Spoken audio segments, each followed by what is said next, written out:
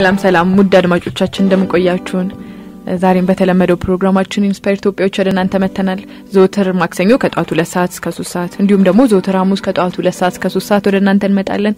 አብረናችሁ የምንቆየው እኔ ቃል ኪዳን ተፈራ፣ እኔም professional የህይወት አሰልጣኝ ወይም life coach ዳንኤል ወዳጆ ነኝ። አብራችሁን ቆዩ። እንግዲህ ሳምንት ሳምንት ሳይሆን ማክሰኞ ዕለት ስለ ፍርሃት ነበር እያወራን የነበረው። አዎ እንግዲህ ፍርሃትን እንጋፈጥ ነው እንዳፈር ተባብለን ፍርሃትን ተያይዘነዋል። እንግዲህ ዛሬም እንግዲህ ስለሱ ነው የምናወራው። ባለፈው ሳምንት ያነሳ ነው ታሪክ ነበረ። ምናልባት ባለፈው ማክሰኞ ዕለት ያልሰሙን ወይም ደግሞ ዘግይተውም የነበሩ አድማጮቻችን ለመድገም ያህል ምንድን ነበር ታሪኩ? አንድ እናት ናት ልጇ በጭንቀት ምክንያት በፍርሃት ምክንያት በጣም የሚቸገርባት እናት ናት እና አንድ ዶክተር ጋር ደውላ የምትጠይቀው ጥያቄ ነበረ። ልጄ በጣም እየፈራ ነው፣ በህልሙ በጣም እየቃዠ አስፈሪ ህልሞች እያየ ጓደኞቹንም ራሱ እየፈራ ተቸግር ያለው እና ምን ላድርግ ብላ ስትለው ይቀጥራትና መፍትሄውን ለማዋራት ያገኛታል። በሚያገኛት ሰዓት ግን ምንድን ነበረ እናትየውም በጣም ብዙ ነገሮችን ስትፈራ ነበር ያያት። ለምሳሌ የውጭ ዜጎች ትፈራለች። በሊፍት መውጣት ፎቅ ላይ ትፈራለች። አየር ሁኔታውን ትፈራዋለች። እንደውም ምንድን ነው መጀመሪያ ሲያገኛት ዶክተሩ ሲገልጸው መጀመሪያ አየሩ በጣም ቆንጆ ሁኔታ ነበር፣ ግን ብዙም የተለመደ አየር አልነበረም በሰዓቱ ና እንዴት ነው ይሄ አየር ግን ሲላት ው በጣም መጥፎ አየር ነው፣ በጣም ሞቃታማ በመሆኑ የተነሳ ኢንፍሉዌንዛ እንደም ያመጣልና ራስን ጠብቅ፣ ተጠንቀቅ ብላ ለሱ ምክር ነበር እንደም የሰጠችው። ልጁንም ሲቀጥራት ይዘው አልመጣችም እና ለምንድን ነው ብሎ በጠይቃትም ሰዓት ምንድን ነበር ያለችው ባቡሩ ላይ ሽታ አለ፣ ሙቀት አለ ና እንዳያመው ፈርቼ ነው። ስለዚህ የእናትየዋ ፍርሃት በጣም ብዙ ፍርሃት ነበረ።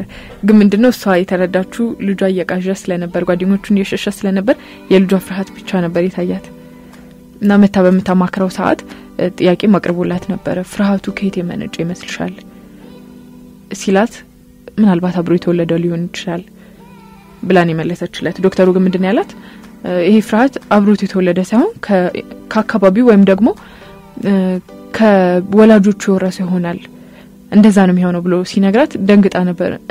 እና ከኔን የወረሰው ማለት ነው የሚል ጥያቄ ነበር የጠየቀችው። በሱ ላይም አውርተንበታል ባለፈው ሳምንት እና ምንድን ነው ሁላችን ያው ሁላችንም አብረን ነው የተወለድነው። ፍርሃት የለም። ከጊዜያት በኋላ ከሆነ ወቅት በኋላ ነው ሁላችንም ጋር የመጣው። ራሳችን ብንጠይቅ ብዙ ጊዜ የምንፈራቸው ነገሮች አሉ፣ ሳናስተውል የምንፈራቸውና አስተውል የምንፈራቸው ነገሮች አሉ። ማለት የምናውቃቸው ይህንን ፈራለሁ፣ ይህን ፈራለሁ። አሁን እንደውም እናትየዋ ላይ የነበረው ችግር ምንድን ነው ልጇ ፍርሃት እንዳለበት ነው እንጂ እሷ እንዳለባት አታውቅም ነበረ። ሁሉም የምፈራቸው ፍርሃቶች ትክክል እንደነበሩ ነው የምታስበው። አየሩን መፍራቷ፣ ሊፍት መፍራቷ ምናምን ይሄ ተፈጥሯዊ ነገር ነው፣ ትክክል ነው፣ እሷ ትክክል ናት እንጂ ለልጁ ይሄን ፍርሃቱን አው- አውርሳው ልጁ ደግሞ የበለጠ ችግር ውስጥ መግባቱን በፍጹም አላሰበችም ነበርና ማናምናቸውና ምናምናቸው ፍርሃቶች አሉን። ይህንን ማወቅ ነው የመጀመሪያዋ ብዬ አስባለሁኝ።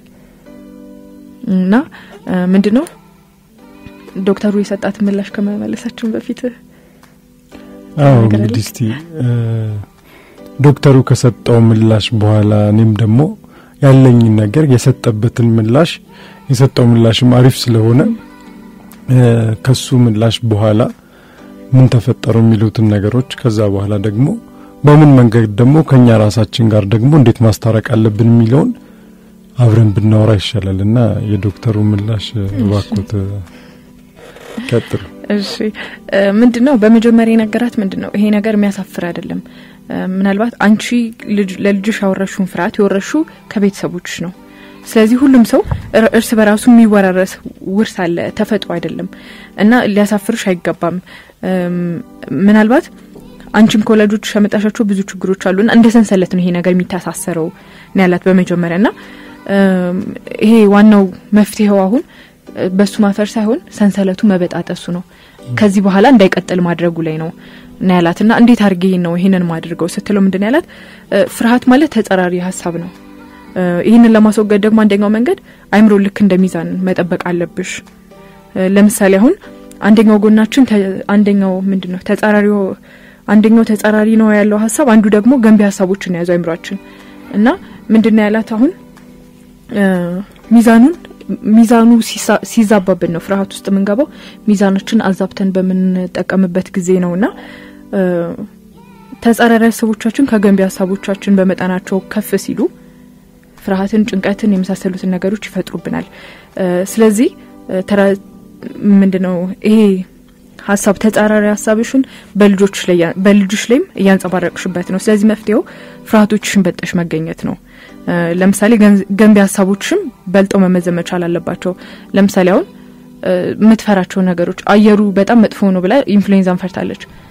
ግን በዚህ ምንድን ነው ይሄ ተጻራሪው ሀሳቧ ነው። በሆነ ሀሳቧ ደግሞ ያላዳመጠችው ሀሳቧ ደግሞ ላይ ምን አለ? ይሄ አየር በጣም ቆንጆ ነው። ስለዚህ ይህንን በዛ ማካካስ። አየሩ በጣም ቆንጆ ነው እና ዛሬ ደስ የሚል ቀን ነው፣ ደስ የሚል ብርሃን ይወጣልን ብለሽ ብታስቢው። ከዛ ደግሞ ልጅሽን ቤት ሄደሽ ልጅሽን ይዘሹ ብትወጪ ና በዚህ ቆንጆ አየር ላይ አብረን እንዝናና። ከዛ ደግሞ ትልቅ የተባለ ፎቅ ላይ በሊፍት ወጥታችሁ ወደ ታች እያሳየሹ ምን አይነት ውብ ሀገር ነው ያለን እያልሽ ለምን አታሳዩ እና ልጅሽን በእንደዚህ አይነት መልኩ አዝናኘው ሲላት መጀመሪያ ሳቀች የመለሰችለት እንዴት እንደዚህ ሊሆን ይችላል ማለት እንደ ቀልድም ነበረ ያየችው። ግን ምናልባት ሞክሪው ሞክሪው ና ንገሪኝ ግን ይሄ ነገር በአንድ ቀን የሚለወጥ ሳይሆን ምናልባት ሶስት ወር ሊፈጅብሽ ይችላል። በስርዓት ያልኩሽን ነገር የምታደርጊ ከሆነ መጥፎ ሀሳቦች ሲመጡብሽ በጥሩ መጥፎ ሀሳቦች ሲመጡብሽ በጥሩ እየቀየርሻቸው የምትሄጂ ከሆነ ምናልባት ሶስት ወር ሊፈጅብሽ ይችላል ነው ያላት። ግን ምንድ ነው ደብዳቤ መልሳ ሁለተኛ ደብዳቤ ስትልክለት ስድስተኛው ወር ነበረ። ያለችውን ቃል በቃል የጻፈችውን ደብዳቤ ቃል በቃል ባነብላቸው ደስ ይለኛል። ዶክተር ፒል ፍርሃቶችን በገንቢ ሀሳቦች የመመዘኑ ቀላል ዘዴ በህይወታችን ውስጥ ያሳደረው አስደናቂና አዎንታዊ ሁኔታ አዎንታዊ ውጤት ከሚገምቱት በላይ ነው። መጀመሪያ አካባቢው ዘዴውን ለመተግበር በጣም ትግል ጠይቆን ነበር። አሁን ግን ከበፊቱ በጣም የተሻለ ሁኔታ ሁኔታ እየተገበሩ እንገኛለን። በዚህም ፍርሃቶቻችን ከቁጥጥራችን በቁጥጥራችን ስር እያደረግናቸው መተናል ልጅ አሁን አሁን መዝናናት እየጀመረ ነው። ከጓደኞቹም ጋር ነጻ ሆኖ ይጫወታል። እንደ በፊቱም በፍርሃት የተሞላና ውጥረት የሰፈነበት አይመስልም። በመጨረሻ ይህን ከዘር ወደ ዘር ሲተላለፍ የቆየ የፍርሃት ሰንሰለት እንደ ሰበርኩት እንዲሰማኝ ፈልጋለሁ አንድ ቀን እነዚህን ፍርሃቶቻችንን ሙሉ በሙሉ እንዳሸነፍን እንዳሸነፍናቸው ልገልጽሎት እንደምችል ተስፋ አድርጋለሁ ለሰጡኝ ገንቢ አስተያየትም ከልብ አመሰግኖታለሁ ብላ ነበር የጻፈችላቸው። ይሄ ደብዳቤ የተጻፉ እንግዲህ ከስድስት ወር በኋላ ነው።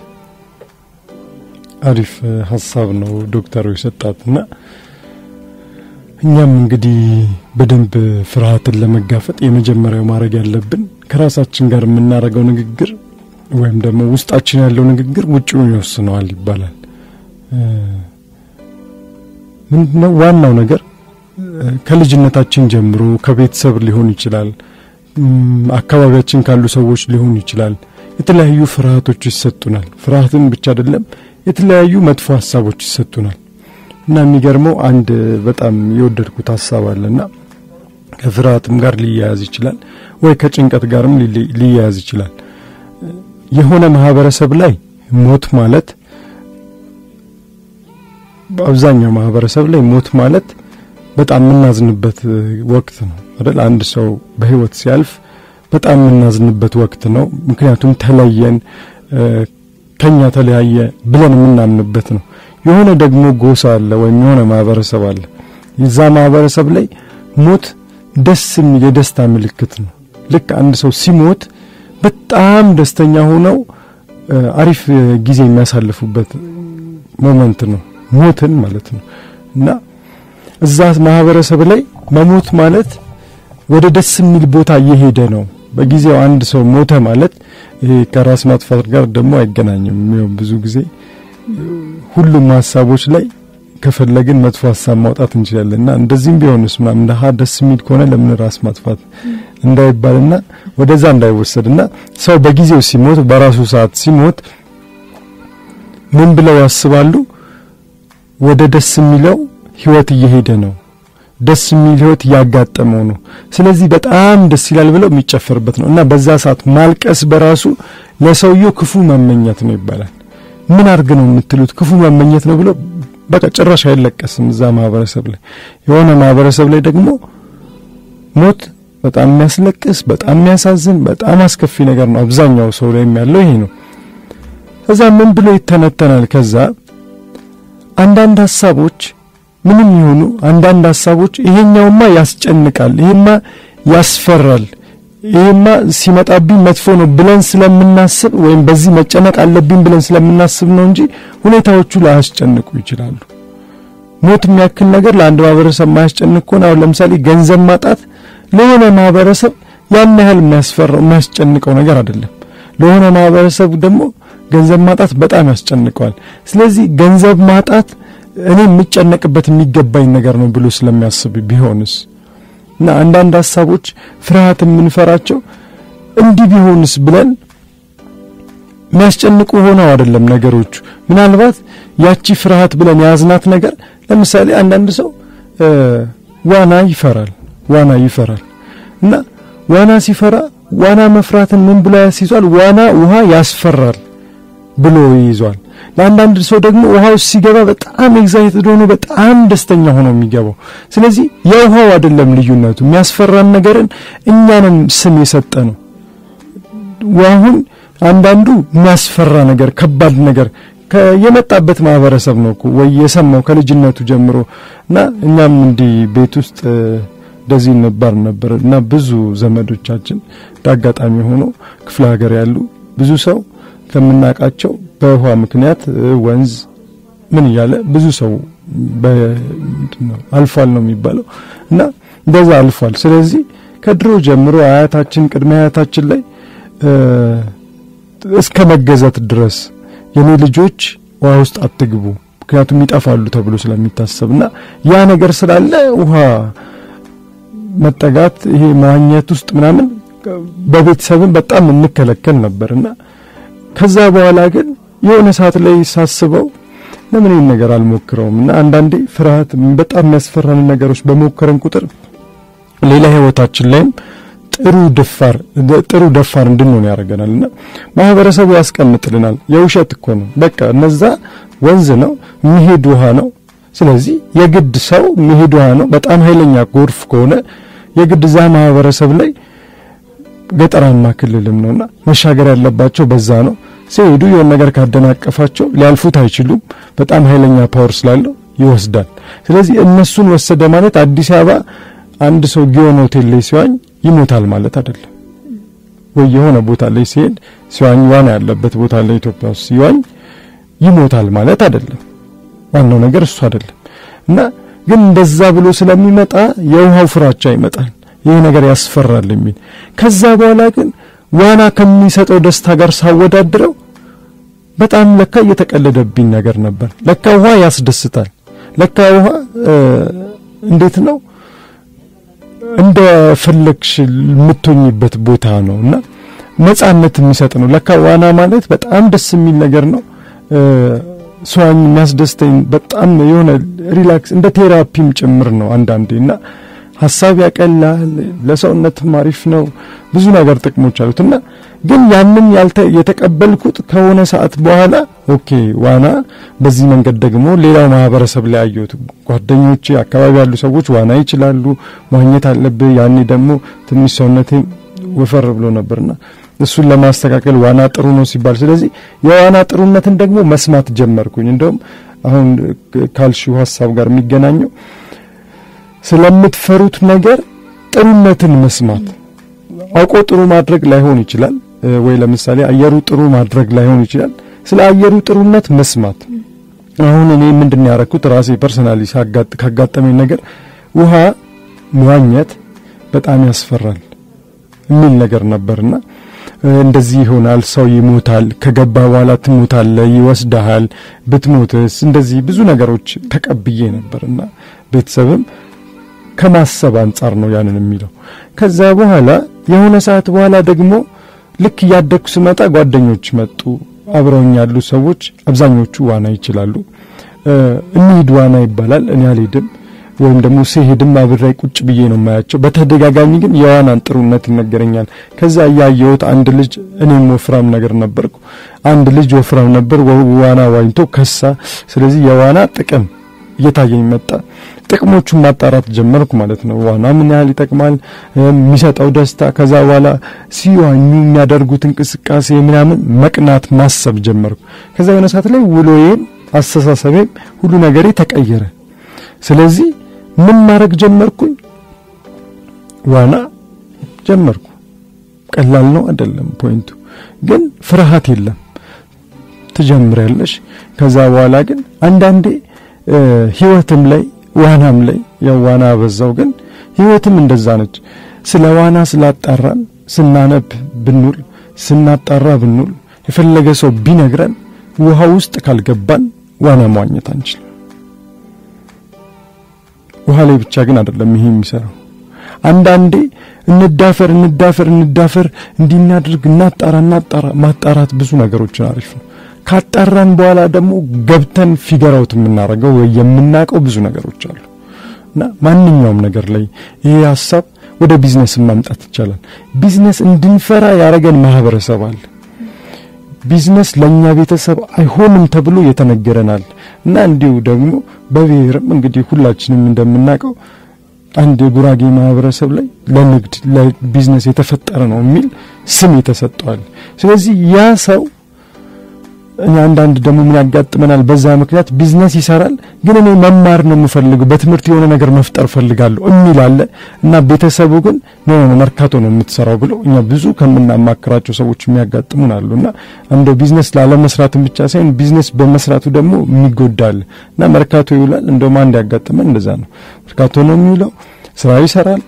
እዛ እዛ ስራ እየሰራ እሱ የሚፈልገው ትምህርት ተምሮ የሆነ የሆነ ነገሮችን መስራት በእውቀት እንደዚህ እንደዚህ ማድረግ ፈልጋለሁ የራሱ ሀሳብ ነው እና ያው ቢዝነስም ላይ እውቀት ይጠይቃል። ግን ደግሞ እሱ የሚያስበው ሀሳብ በሌላ በ engineering ኡ ገብቼ construction ላይ እንደዚህ አይነት ስራዎችን መስራት እንደዚህ አይነት ነገሮችን መስራት በእኔ ምክንያት እንደዚህ ፎቆች ሲገነቡ ማየት ፈልጋለሁ ይላል።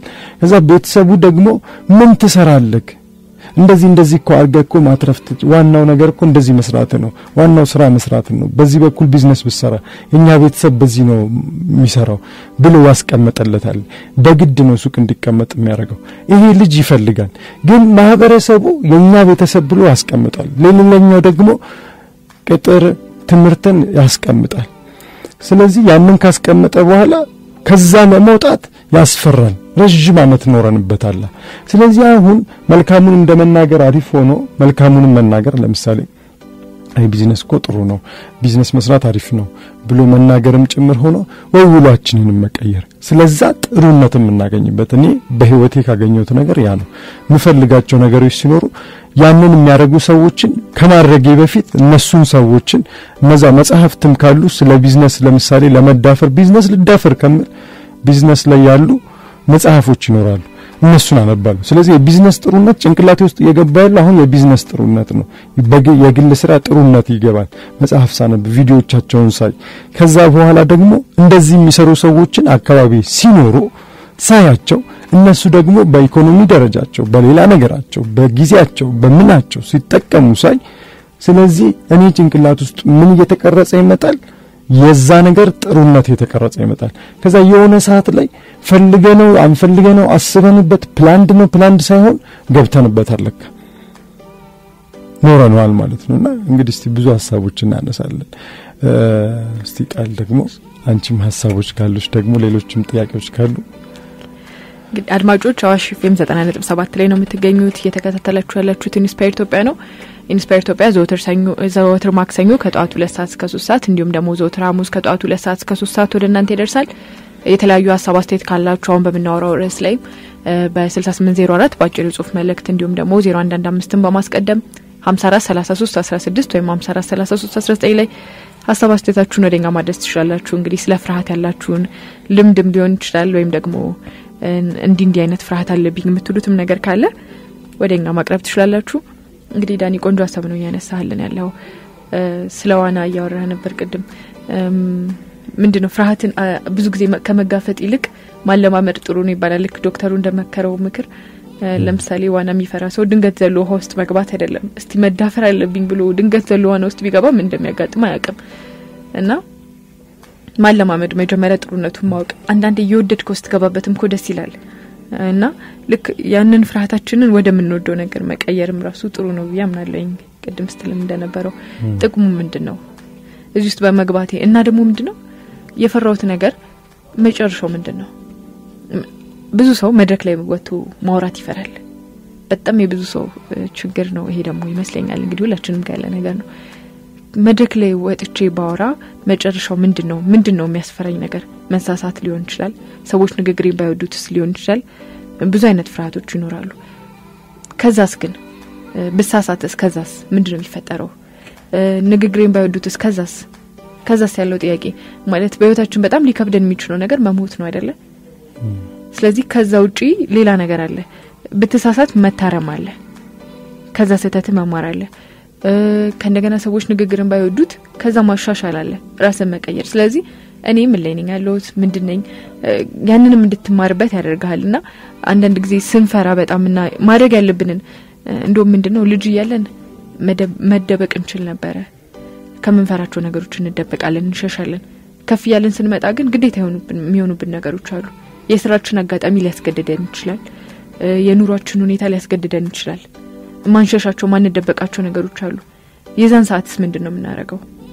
አሁን ወጥተህ መናገር ግዴታ ከሆነብህ እንደውም ብዙ ጊዜ ትምህርት ቤት ተማሪዎች ሆነን defense የሚባል ነገር አለ።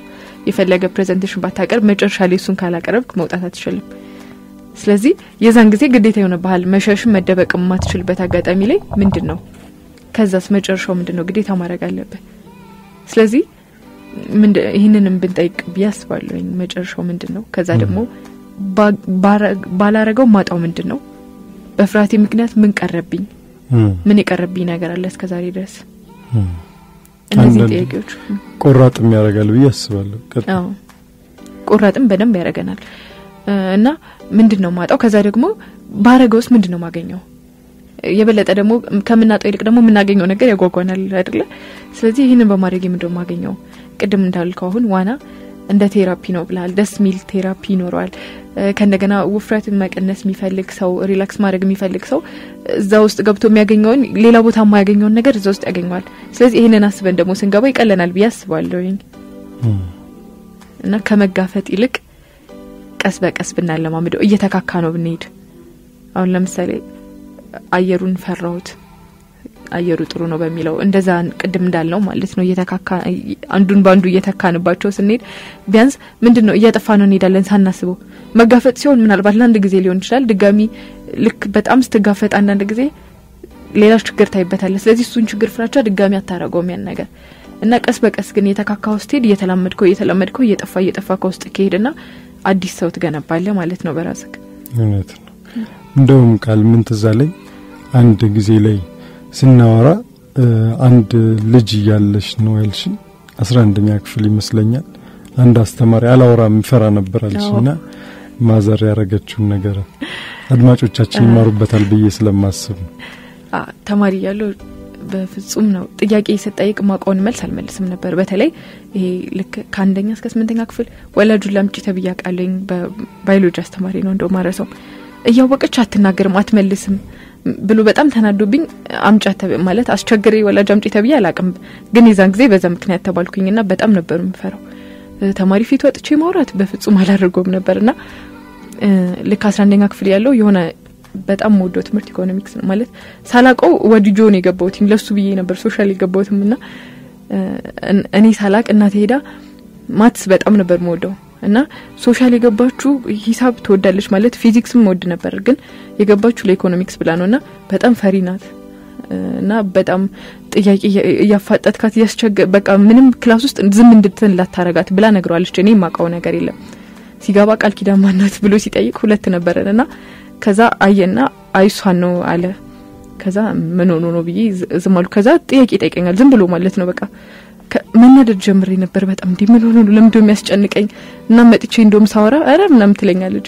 የሆነ አስተማሪ ኢኮኖሚክስ አስተማሪ በጣም ጥያቄ ይጠይቀኛል ምናምንና እኔ ደስ አይለኝም ነበር፣ መጠየቅ አልፈልግም። በቃ ባቆም ወረቀት ላይ ጽፋለሁ እንጂ ወጥቼ አልናገርም። ምንም ፈተናዬን ጥሩ አመጣለሁ፣ ግን ከዛ በኋላ አላወራም።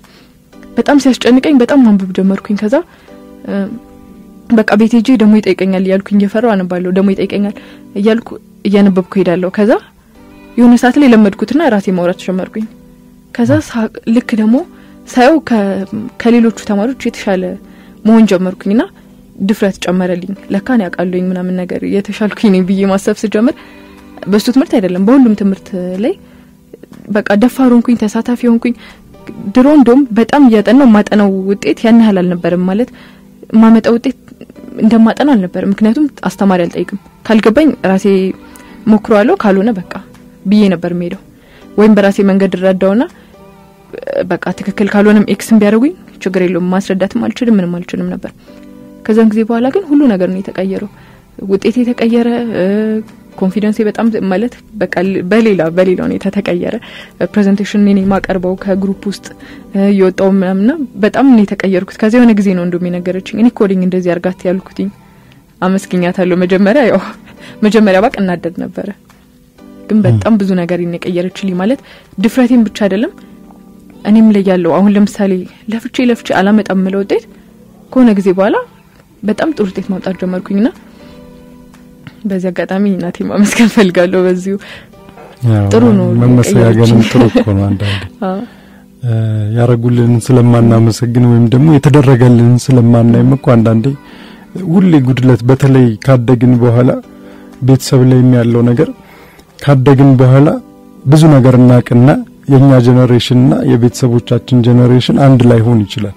ከዛ በኋላ ስናድግ እኛ ብዙ እናውቃለን በእኛ generation ያለውን ወይም በእኛ ትውልድ ላይ ያለውን ነገር እና እነሱ ደግሞ ያንን ሊረዱ አይችሉም። እና የለፉትም ልፋት አይታየንም አንዳንዴ ወይም የጣሩት ጥረት አይታየንም። ባለማወቅ ሊሆን ይችላል ወይ? ለነሱ ጊዜ አሪፍ የሆነ ለእኛ ጊዜ ግን አሪፍ ባልሆነ ነገር ያልተረዱት ብዙ ነገሮች ይኖሩና ከዛ እኛ አይረዱንም ብለን እናምናለንና ያው ምን ያጋጥመኛል እና ግን አንዳንዴ መልካሙን ማሰብ ጥሩውን ማሰብ የተደረገልን እና ሰው ያንን ነገር ሲያረግልን በምን ምክንያት አረገው ለኛ በማሰብ ነው ብዙ ጊዜና በተለይ ቤተሰቦቻችን ዞሮ ዞሮ ለኛ በማሰብ ነው። ቢዝነስም አትግቡ ብለውን የሰረጸብን ጭንቅላታችን ውስጥ በፋሚሊ ሊሆን ይችላል። እነሱም ደግሞ ከቤተሰብ የወረሱት እና የነሱን ቤተሰብ safe አድርገው የኖሩበት መንገድ ይሆናል። ስለዚህ እኛም safe አድርገው ሊያኖሩን ይፈልጋሉ። ግዴለም ተማር ወድቃ ወድቅም የተማረ ወድቃ ወድቅም ምናምን ይባላል እና መውደቂያን ማመቻቸት የሚባል ነገር አለ ህይወት ላይ። እኔ ምናልባት በመውደቂያም አላምንም። መውደቂያ ሳይኖርክ ጨርቄን ማቄን ሳትል አንድ ነገር ላይ ሙሉ ጊዜህን ማጥፋትን አምናለሁ። ልክ ያንን ስታጠፋ ብዙ ነገር ትማራለህ፣ በፈተናዎች ትጠነክራለህ። አንዳንዴ ፍርሃታችን ከእንደዚህ አይነት ነገሮች የሚገድበናል ብዬ አስባለሁ። እንዴት ነው ቢዝነስ ይጀምርና መክሰሩን ስለሚፈራ ሌላ ቢዝነስም ይጀምራል። መክሰሩን ስለሚፈራ ቅጥር ይገባል። መክሰሩን ወይ ነገ እንዲህ በሆንስ ብሎ ስለሚፈራ ሌላ ቢዝነሶችን ማሯሯጥ እንዳለበት ያምናል። ባይሳካስ ብሎ ስለሚሆን ሌላ ሌላ እና ሀሳቡ ብትንትን ብሎ ይሄ ሰው አያድግም። እና plus ደግሞ አንድ ሰው ብዙ አይነት ስራዎችን ሲሰራ ወይ ብዙ አይነት ሀሳቦችን ሲያስብ ምን ይሆናል? ለምሳሌ አንድ ሰው ቢዝነስ ይሆናል የሚሰራው የሆነ ስራ ይሰራል። ያንን ቢዝነስ እየሰራ ፈተና ያጋጥመዋል። ልክ ያቺ ፈተና ስታጋጥመው ኦሆ ሊወድቅ ነው ማለት ነው ቢዝነስ የሚለው ፍራቻው ከድሮ ጀምሮ ያደገበት ሲሆንና backup ይኖረዋል እና በሱ ቤት ብልጥ ነው። ሌላ ስራ ይጀምራል፣ ይቀጠራል፣ ወይ የተቀጠረበት ደግሞ ቦታ ላይ ጠንከር ይላል። እዛ ቦታ ላይ የሚጠብቀውን ነገር ሲያገኝ ተመልሶ ሌላ ቢዝነስ ውስጥ እንደዚህ ወይ ደግሞ በአንዴ አምስት ስድስት ስራ ይሰራና ለኛ ሀገርም ጎበዝ የሚባል ሰው ብዙ ስራ የሚሰራ ሰው ነው። ከዛ እዚህም እዚህም እዚህም ሲሰራ አንዱ ላይ ችግሩ የሚሆነው ምንድን ነው? አንዱ ላይ ፈተና ሲበዛበት ያቺ ፈተና ስትመጣ ሌላ ቦታ ይሄዳል። ሌላ ቦታም ፈተና ሲበዛበት ሌላ ቦታ ይሄዳል። ሌላ ቦታ ይሄዳል። ሌላ ቦታ ይሄዳል። ስለዚህ ይሄ ሰው ፈተና ሽሽት ነው፣ አንድ ላይ መርጋት የማይችለው። ከዛ በኋላ ምን ይሆናል? ማትሪክ አንድ ተማሪ ሲፈተን ፈተናውን ቢሸሸው አልፈተንም ካለ እዛ ደረጃ ላይ ነው የሚሆነው አይደለም? እዛው ደረጃ ላይ ነው በትምህርት የሚሆነው ወይም ደግሞ በእውቀቱም እዛ ደረጃ ላይ ሊሆን ይችላል። ወደ ሌላ ቦታ ሊሄድ ይችላል፣ ስራ ሊሰራ ይችላል። ግን ማትሪክ ሲደርስ አልፈተንም ካለ እንደዛ ነው የሚያገጥም። ማትሪክ ሲደርስ ከተፈተነ ግን ሲያልፍ ደረጃው ከፍ ይላል። ስለዚህ ማለፍና ፈተናን ማሸነፍ ነው የመጀመሪያው አማራጭ መሆን ያለበት። ቢዝነስም ከተጀመረ በኋላ ፈተና አለው ሁሌ ህይወት ላይ ፈተናዎች አሉ። የግል ስራም ይሁን የመንግስትም ስራ እንስራ፣ ቅጥርም ይሁን ሁሌ ፈተናዎች አሉ። ያቺን ፈተና ሸሸን ማለት ደረጃዬ አይደግልኝ ማለት ነው። ፈጣሪ ደረጃችንን ሊያሳድግ ስንል ደረጃችንን እንድናሳድግ የሆነች ፈተናዎች ሊሰጠን ይችላል። የፈጣሪ ውድ ስጦታዎች አንዳንዴ በፈተናዎች ተጠቅልለው ነው ይላል አንድም ደራሲ። እኔም በደንብ በሕይወቴ ካየሁት ነገር የፈጣሪ ውድ ስጦታዎች በፈተና የተጠቀለሉ ናቸው ይባላል እና ያቺን ፈተና የተጠቀለለችዋን ለማንሳትና ስጦታውን ለመቀበል ፈተናውን ማለፍ አለብን። ለምን ፈተናውን ስናልፍ ማለት ደረጃ ነው ከፍ የሚለው። የአስራ ሁለተኛ ክፍል ማትሪክ አለፍን ማለት ደረጃችን ከፍ አለ ማለት ነው። ስለዚህ ከፍ አለ ማለት የተሻለ ነገር እናገኛለን ማለት ነው። ስለዚህ የተሻለ ሀሳብ እናስባለን፣ የተሻለ ነገሮች ይመጣሉ ወደኛ ህይወት ማለት ነው። ስለዚህ ስራ ላይም ፍርሃታችን ምን ድረስ ይሄዳል? ብዙ ስራ መስራት ጥሩ ነው፣ ብዙ ስራ መስራት ጥሩ ነው ከልቤ ነው የምታምንበት ወይስ ደግሞ ያ ቢዝነሴ ባይሳካስ ብለህ ስለምትፈራ ነው ብለን እንጠይቅ። ብዙ ጊዜ አይመስለንም እና ምንፈራ አይመስለንም። ብዙ ሰዎች የሚፈሩ አይመስላቸውም ብዙ ስራ የሚሰሩ አብዛኞቹ ግን ፍርሃት ነው። በዚህ ስራ ሄጄ እንደዚህ ቢሆንስ፣ ሁለት እግር አለኝ ተብሎ ከሁለት ዛፍ አይወጣም እና አንዱ ላይ ከፍታውን መውጣት ነው። ከዛ በኋላ ግን ትልቁ ሚስጥር እሺ አልተሳካስ። አሁን ብዙ ሰዎች ለአንድ ነገር ሰርተው አልተሳካላቸውም። ሉክ ያልተሳካለት ሰው ማለት ምን ሆነ ማለት ነው? አንዱ ስራ ጫፍ ለመንካት የጣረ ሰው ነው። ስለዚህ አድማጫለን ለማረ ማሂ ነኝ። ኧረ ኧረ እሺ ማሂ ማሂ እንዴት ነሽ? ደህና ሰላም አደርሽ ማሂ፣ እንዴት ነሽ? ይመስገን ሁሉም ሰላም። ሁሉ ሰላም ይመስገን። እናንተ ጋር ሰላም? ሁሉ ሰላም ነው ሁሉ? ሰላም ነው። ደስ ይላል። ሁሉም ሰላም ነኝ። እንኳ ደህና ናችሁ? ደህና? እንዴት ነሽ? ይመስገን ሰላም ናችሁ? ሁሉ ሰላም። እንዴት ነሽ? የዛሬው ሀሳብ እንዴት ነው? እንዴት አገኘሽው? በጣም ደስ ይላልና ቃል የነገረችን ታሪክ እያብሰለሰልኩት ነበር ከማክሰኞ ጀምሬና የተረዳሁት ነገር ፍርሃት አለማመን ብዬ ነበር። አሁን ደግሞ ሌላው ሁለተኛው አቅጣጫ ስጋት ነው። የሆነ ነገር ይሆናል ብለህ ማሰብ ቀድመ ማለት ነው። እኔ አያቴ ብቻ ሳደገችኝና ሁሌ ከቤት ስንወጣ ለልጆቿ ራሳችሁን ጠብቁ፣ ይህ ግዴታ ነው። በቃ እንደዚህ ገባል መልካም ቅርብ ምናምን እንደማለት ማለት ነው። በቃ እና እስከ ቅርብ ጊዜ ማለት ራሴ ላይ እስክሰራ ድረስ በጣም ይከብደኝ ነበር። ላለመሳሳት ነበር ሙለው ምክንያቱም ብሳሳት ማስጠንቀቂያ ሰጥቼሽ ነበር እኮ እንዲህ ብዬሽ ነበር ነው። ገባ እና እናቲቱ ለልጇ ጉዳይ ብላ ራሱ ዶክተር ቀጥራ ልጇን ትታ ሄደችው ያሟዋል ብላ ሰግታር አዎ አዎ አየሩ ጥሩ ስላልሆነ ብላ አመነች። ከዛ ያሟዋል ብላ ሰጋት ትተው ሄደች። አዎ እና ብዙዎቻችን life አችን ውስጥ እንደዛ ነው። በጣም የተረዳሁት ዳኒ ታላቅ እንደመሆኑ ታናናሾቹን ስላየ ትረዳኛለህ ብዬ አስባለሁ። ልጆችን ስናሳድግ ተው እንዳትወድቅ እንዳትወድቅ እንዳትወድቅ ነው በጣም ተደጋጋሚ የምንናገራቸው ቃላት። አንዳንዴ ይህ ሁሉ ለምዶብን ቁጭ ብለው ሁሉ እንዳትወድቅ የምንልበት አጋጣሚ አለ መሰለኝ። እውነት ነው። አይ ልክ ነው። አለኝ። ታናሽ ታናሾችም አሉኝ የ sister ልጆች አሉና በቃ ሶፋ ላይ እየዘለለ እንዳትወድቅ ለምን ተብሎ ራሱ ፍራሽ ተዘርግቶ ፍራሽ ሲዘል እንዳትወድቅ አንዳንዴ ኧረ ተይ sister እንዳይወድቅ ራሱ እንዲወድቅ ዛሬ ፍቀጅለት እላታለሁ። ስትወድቅ ነው pain ኡን የምታውቀው። ከዛ ነገ አትወድቅም። እና ይሄ ሰው እንዳትወድቅ እንዳትወድቅ ያለው እኛ ዛሬ ላይ ወድቆ እንዳይሰበር ነው ማስጠንቀቂያ የምትሰጥ። ግን ነገ በህይወታችን መሞከርን እንድንፈራ አድርገውናል ብዙዎቻችን ሳያውቁት።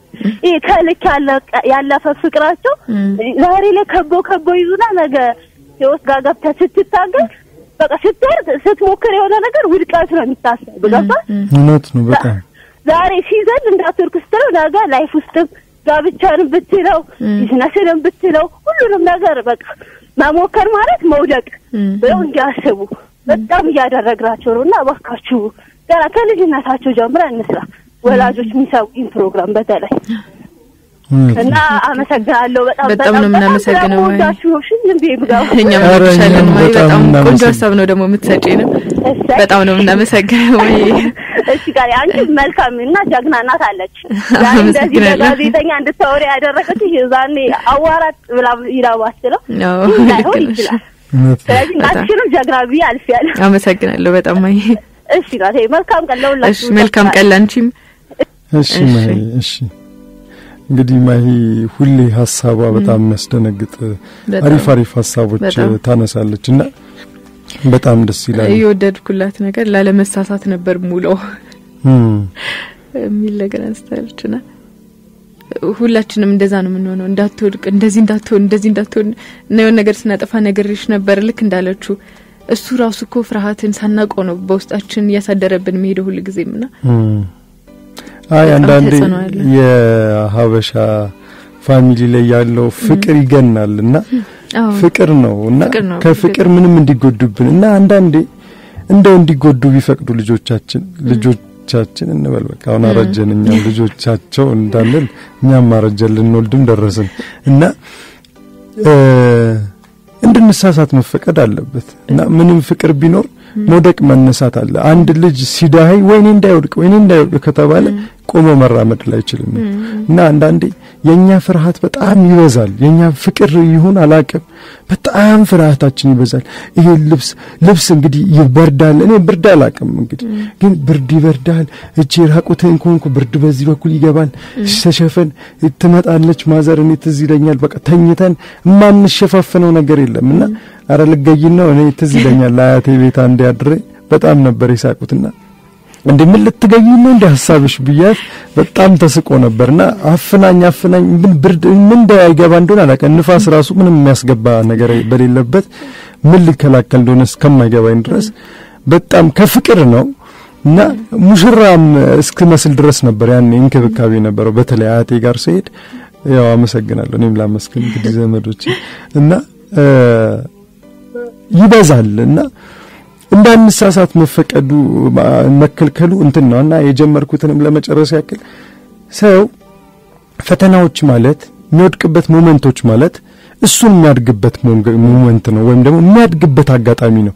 ተመልከች፣ አንዳንዴ ፈተና ማለት አንድ ሰው ሲፈተን ምናልባት ሊወድቅ ይችላል። አሁን ለምሳሌ በአንድ ስራ ሲሄድ በዚህ ስራ ሲሄድ ብትወድቅስ ባይሳካልስ ሊል ይችላል። ሚስጥሩ እሱ ጋር አይደለም። ባይሳካልኝ እኔ አምስት ስራዎችን ከሚሰራ ሰው የተሻለ ሀሳብ አለኝ። ለምን ፈተናዎች ብዙ አልፍ ያለው በዚህ ስራ ነው የሚያልፍልኝ ስል ያ ማለት እኮ ግን እኮ አንዳንዴ እኮ ያው እውነታውን አንቀበልም እንጂ ትዳር ባይሳካ ተብሎ አምስት ስድስት ይሰራል ይቀየራል እንዴ? ያ አምስት ስድስት ትዳር ይያዛል እንዴ? ያ ማለት ትዳር ላይ ችግር የለም ማለት እኮ አይደለም እኮ አይደል? የሆኑ ፈተናዎች የሉ ማለት አይደለም። በየቀኑም እኮ የሆኑ ጦርነቶች ጦርነት እንበለው ጦርነቱ ላይ ሊኖር ይችላል። ግን ትዳር ላይ አምስት ስድስት ስራ እንዴት ይሰራል? ትዳር ላይ cheat የማያረግ ሰው ስራው ላይ cheat ያደርጋል። ስራ ላይ cheat የማያረግ ሰው ደግሞ ስራው ላይ አንድ ስራ ሰርቶ ያገኘውን ጥቅም እያወቀ ሚስቱ ላይ ሲመጣ ግን መታገስ ያቅተዋል፣ cheat ያደርጋል። እና አንዳንዴ ከራሳችን ስኬት እንኮርጅ እስቲ። እኔ relationship ላይ የሚፈርስም የሚቀየርም የሚሞክረውም ብዙ ነገር እንዲኖረኝ አልፈልግም፣ አላደርግም። ስለዚህ ፈተናዎች ግን አሉ፣ ሁሌም ነው፣ በየቀኑ ፈተናዎች አሉ እና ያቺን ፈተና ሁሌ ለማለፍ ነው የኔ እንትን ውስጥ መሸነፍ የሚባል ነገር እንዲኖር ጭራሽ አልፈቅድለትም። ስራዬ ላይም ልክ እንደዛ ነው። በዚህ ስራ መሸነፍ ሞት ይመጣል አላቅም። ከዛ በኋላ ግን okay አልሆነም፣ አልተሳካም፣ ግን ብዙ አውቄያለሁ። በቃ ሁሉ ነገር ላይ ብዙ ማወቅ አሁን ትዳር ላይ አምስት በየሶስት ወሩ የሚቀያየር ሰውና በየሶስት ወሩ ቀያይሮ እዚህም እዛም እያለ በቃ ደስተኛ ሊሆን ይችላል። let's okay ደስተኛ ነው። ግን ደግሞ አምስት ዓመት በትዳር የቆየ እኩል ብስለት አላቸው እንዴ? እኩል እኮ ብስለት የላቸውም። ስራም እንደዛ ነው። እኩል ብስለት አለመኖሩ ነገ ሁለተኛው ስራህን perfect ታደርጋለህ። ወይኔ ስልክ ያለን hello hello፣ ጤና ይስጥልኝ። ወለተ ማርያም እንዴት ነሽ? ሰላም ነው አለን እግዚአብሔር ይመስገን። እንዴት ነሽ? አለ እያዳመጥኩ ነበር። በቀደም የቀደሙ እንትን ያላችሁ አዎ አዎ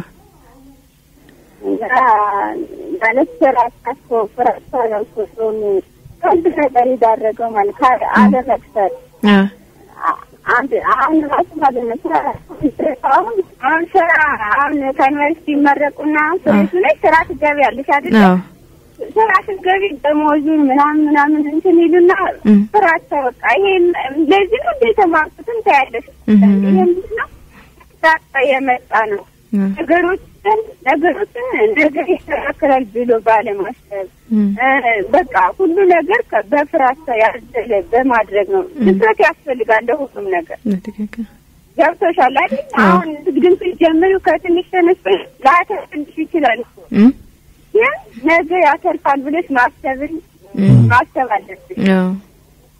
ትዳርም ቢሆን መጀመሪያ ስትጀምሪ እኮ አንድ ጊዜ አይሟላም። እየቀደም ነው እቃው ምንም ምንም የሚሟላው እና ስራ ቀድሞ ስራችን በማምጣት ነው ሁሉን ነገር ወደኋላ ወደኋላ ነው የሚሄዱት እና መፍራት የለም በቃ ደፍሮ ሁሉን ነገር መሞከር ደስ ይላል። በቃ አመሰግናለሁ። በጣም በጣም እናመሰግናለን ለተማሪያም ቆንጆ ቆንጆ ሀሳቦች ነው ለተማሪያ የምታነሳልን ሁሌም በጣም ደስ ይላል። እንግዲህ እናመሰግናለን። አድማጮቻችን አሪፍ አሪፍ ሀሳቦች ነው የሚያነሱልን እና ሁሌም እንግዲህ መሞከርን የመሰለ ነገር የለም። ፈተናዎች ያጠነክሩናል እንጂ ወደ ኋላ የሚመልሱን ነገሮች አይደሉም። የመጨረሻ አንድ ነገር ልናገርና ልጨርስና ቃል ደግሞ ብዙ ሀሳቦች መቼስ ይኖሩሻል እና ሴትዮዋ ይመስለኛል ሳራ ብሌክሊ ትባላለች። ስሟን የተሳሳትኩ አይመስለኝም። ቢሊዮነር ነች። የራሷ የሆነ የልብስ የ fashion industry ውስጥ ነው የምትሰራው እና ቢሊዮነር ነች እና ብዙ ተጽዕኖ የፈጠረች ሴት ነች እና ሴት ስትናገር ቤተሰብ ላይ አለች እንሰበሰባለን ማታ እራት እየበላን ሊሆን ይችላል አለች። በዛ ሰዓት ላይ ምን እንነጋገራለን አለች። ከቤተሰቡ እንዲህ ቁጭ ተብሎ ተሰብስበው አባታችን ጥያቄዎች ይጠይቀናል አለ። ዛሬ ምን ተሳሳታችሁ፣ ዛሬ ምን ተሳሳታችሁ ይለናል አለች እና ካልተሳሳትን ይቆጣናል አለች።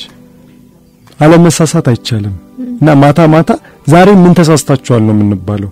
ምን ተሳካላችሁ፣ ምን አረጋችሁ፣ ዛሬ ቀናችሁ እንዴት ነው አይደለም የምንባለው። ዛሬ ምን ተሳሳታችሁ ይለናል አለች። ከዛ ስንጠየቅ ምንም ካልተሳሳትን ምንም ነገር አልሞከራችሁም አዲስ ነገር ማለት ነው ይለናል እና ስህተትን አለመፍራቴ መሳሳትን መሞከሬ እንዳድግ አድርጎኛል እና አውቀን መሳሳት አይደለም ግን አዲስ ነገር ሙከራ ውስጥ ነው። ምንም በህይወት ያልተሳሳትኩም የሚል ሰው ማለት ምንም በህይወቱ አዲስ ነገር የለም ማለት ነው። ምንም ቢዝነስ ላይ fail አላረኩም ማለት ምንም ቢዝነስ ሞክሮ አያውቅም ማለት ነው። የግድ fail ያደርጋል። እንደውም አንድ ልጅ ትዝ ይለኛል እንደዚሁ ትራንስፖርት ላይ አግኝቼው ምን አለኝ ቢዝነስ ነበር ምሰራዋል እና የመጀመሪያ ስራዬ ላይ ሰማንያ ሺህ ብር ከሰርኩ አለ። በጣም አዘንኩ አለ። ከዛ አባቴ ምን አለኝ አለ እንዴ የኔ ልጅ በሰማንያ ሺህ ብር የኔ ልጅ ስራ ለመደልኝ ብሎ ደስተኛ ሆኖ አቀፈኛል። ከዛ ደነገጥኩ፣ ተቀየረ ሀሳቢ። ለካ መክሰር አይደለም መልመድ ነው አለኝ። በሰማንያ ሺህ ብር ከለመድክ እኮ አሪፍ ነው አለኛል። አሁን ስኬታማ ነኛል። እና አንዳንዴ የምንረዳበት መንገድ ነው። እስቲ ቃል ደግሞ ሀሳብሽን እኔንም አስታወስከኝ አንድ ነገር በራሴ ዛሬ በራሴ ያጋጠመኝ ነው የማወራው። የሆነ ጊዜ እንደዚህ የሆነ ስራ ጀምሬ ነበርና ከስሬ አቆምን ነው። ከዛ በኋላ ግን ድጋሚ ለመጀመር የሆነ እየሰራውም ነው፣ ግን ደግሞ እንደ አዲስ እንደ ምንድን የተሻለ ነገር ለማምጣት ፍርሃት ነበረብኝና ልክ ከኔ የተሻለ ቦታ ያለ በእኔ ስራ ላይ ያለ ሰው ሄጄ አነጋገርኩት። ማለት በጣም በተሻለ ቦታ ላይ ነው ያለውና እንደዚህ ከስሬ እንደዚህ ሆኜ እንደዚህ ምናምን ብዬ ስነግረው እስቲ መጀመሪያ ንገሪኝ ብሎኝ ነው ስነግረው እና ከኔ ምንድን ነው መማር የምትፈልጊው? አንቺ እኮ በመክሰር ቀድመሽኛል፣ በልጠሽኛል እና የማይከሰርበትን መንገድ አውቀሸዋል እና እንደውም እኮ አንቺ ነሽ ለእኔ experience ልትሰጭኝ የምትችይው ሲለኝ እንዴ አልኩኝ። የሆነ ለካ አውቀዋለሁ የማይሰራበትን መንገድ አውቄያለሁኝ ማለት ነው። ስለዚህ የሚሰሩባቸውን ሌሎች መንገዶች አውቃለሁ እና አንዳንድ ጊዜ ከሰውም ከሚያስተምርህ ሌላውም ሰው ከሚያስተምር በላይ አንተ ተሳስተ የምትማረው ነገር ደግሞ የተሻለ ነው። የምንፈራው ስህተትን ነው። ስህተት ግን ቆንጆ ትምህርት ቤት ነው። ካሰብንበት ያው ሁል ጊዜ ህይወት ትምህርት ቤት ናት። ሁሉም ነገር ላይ ስታጠፋ ነው የምትማረው።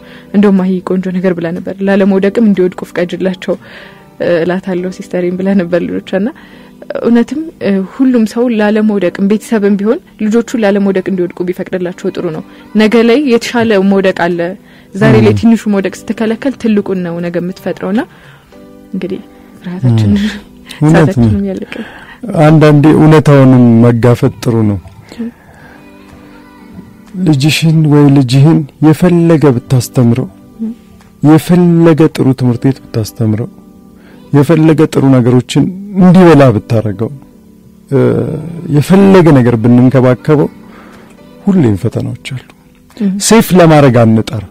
safety የሚባል ነገር ህይወት ላይ የለም። ኢንሹራንስም አሁን safe ለመሆን ኢንሹራንስ ይገባል። ኢንሹራንስ ግን የማይሸፍናቸው ብዙ አደጋዎች አሉ እና እውነት ሴፍቲ የለም። ሴፍቲያችንን ፈጣሪያችን ላይ አድርገን መጨረሻ ላይ እንዳንጎዳ ሁሌም ወደ ትክክለኛው መንገድ እንዲከተን መልካሙን ነገር እንድናስብ እንዲያደርገን ወይም ወደ መልካም ነገር እንዲመራ ነው ፈጣሪያችንን መጠየቅ። ያው የእምነታችንም ነገር እኛ ሀገር ላይ የሚታማም አይደለም። ስለዚህ ፈጣሪያችንን መጠየቅ። ከዛ በተረፈ ግን ልጅህን ወይ ልጅሽን ሴፍ ልታረጊው አትሞክሪ፣ ወይ ራስሽንም safe የሚባል ነገር የለም። ሁሉም ሰው በሆነ መንገድ safe ላይሆን ይችላል። okay እሺ፣ ተቀጥሮ እንዲሰራ safe እንዲሆን ነው። መስሪያ ቤት የገባበት ምርጥ ያልከው መስሪያ ቤት ሙሉ ቢወድም ቢባረርስ ልጁ safe የሚባለው ነገር ቅጥር safe ነው ይላል ሰው። ብትባረርስ አይታወቅም የሚፈጠረው ነገር። አሁን ከተማው እንግዲህ በደንብ በለማ ቁጥር እንግዲህ ከተማው ነው የሚባለው ብቻ ሀገራችን በደንብ ባደገች ቁጥር ውጭ ሀገር እንደተለመደው ሮቦቶች መግባታቸው አይቀሩም እና አንዳንድ ሮቦቶች የሚተኳቸው ስራዎችም አሉ እና በዛ ጊዜ መተካት ቢመጣስ ሰው ቀነሳ ቢመጣስ ቴክኖሎጂ እየተራቀቀ በመጣ ቁጥር ባንክ የሚሰራ የነበረው ባንክ የሚባለው ቀርቶ የገንዘብ ልውውጥ ቢቀር ሌሎች ቴክኖሎጂዎች ቢመጡስ እኛ ማናደግ ከሆነ safe የሚባል ነገር የለም። safety ሳይሆን ለፈተና ዝግጁ ማድረግ ልጆችን፣ ሰዎች ራሳችንን ለፈተናው ዝግጁ ማድረግ ሆኜ ልኖር ሆኜ ልኖር እስከ መቼ እና አንዳንዴ risk ይፈራል ሰው ይላል። አንድም እንደውም ሰው risk ይፈራል። የትኛው risk ይበልጣል? ብር ሳይኖር ልጅ መውለድ ነው። ልጅ መውለድ risk አይደለም እንዴ? ልክ የሆነ ሰዓት ላይ ቤተሰብ ወይ አንተ ራስህ በሆነ ምክንያት የሆነ ነገር ብትታመም ከዛ ያለክ ደሞዝ እየኖርክ ያኔ ስራ ለመሞከር ቢዝነስ ለመሞከር ፈርታል፣ safe ለመሆን ልጅ ሲታመም የሆነ ሰው ሲታመም ብር ያስፈልጋል። ታዲያ የትኛው ነው risk መውሰድ ያለብክ? ብር ምናልባት ገንዘብ ጤና አይገዛ እንደዚህ አይገዛ ሊባል ይችላል። ግን ጤና ባይገዛ ሆስፒታል ደግሞ የምትታከምበት ያስፈልግ ይሆናል። ደስታ ባይገዛ ደስተኛ ሆነ ከቤተሰቦች ጋር የምታሳልፍበት የሆነ ቦታ መዝናናት ስትፈልግ ገንዘብ ያስፈልጋል። ከዛ በኋላ ያንን ማጣት ደግሞ ልጅ አሁን አትይ፣ አሁን አንመልከት። አሁን ቢዝነስ ለመስራት ፈራክ። Okay ፈራ፣ ለአንተ ፈራክ፣ safe መሆን ፈለግ። ልጅ ከዛ ጓደኞቹ ትምህርት ቤት ታስተምረዋለህ። የፈለከ ዝቅ ያለ ትምህርት ቤት አስተምረው። okay ከዛ የሰፈር ጓደኞቹ ደህና ትምህርት ቤት ይማራሉ። አንተ ደግሞ safe ለመሆን ስትል ልጅህን በደልከው። ከዛ እሱንም ደግሞ safety ታስተምረዋለህ። እንደዚህ ኑር ብለክ ድህነትን እንዲቀበል ታደርገዋለህ። ከዛ ካደገ በኋላ ደግሞ እሺ ጥሩ ትምህርት ቤት አስገባው። ጥሩ ትምህርት ቤት ሲገባ ቅዳሜና እሁድ የእሱ ቤተሰቦች የሚዝናኑበት የሆነ ቦታ አለ። ለምን አባትየው safety ውን አልፎ እናትየው safety ውን አልፋ ስራ ሰርታ ቢዝነስ ሰርታ ራሷን አሳድጋለች። risk ን ይዛ ማለት ነው። አንተ ግን እሱ risk ሲወስድ እየሳክበት ነበር። safe አትሆንም እንዴ? ፋራ ለምን ትሆናለህ? እንደዚህ ለምን አትሆንም ብለህ ከዛ safety ን ለድህነት ተጠቅመበታል ወይ ገንዘብ ማጣትን። ከዛ መጨረሻ ላይ የ risk ኡ የትኛው ነው? safe ኡ ማን ነው? እና አንዳንዴ ከምን እንደምንቆጠብ ራሳችን አንዳንዴ ለፍርሃታችን ምንድን ነው የሚያሳጣን ብለን ቅድም ቃል ያነሳችሁ በጣም አሪፍ ነገር አለና ምንድን ነው የሚያሳጣን? መፍራታችን ባናገኘው ምንድን ነው ግን እያጣን ያለ ነው ነገ safe ነን ወይ? አሁን safe የሆንን ይመስልናል። እስከ መች?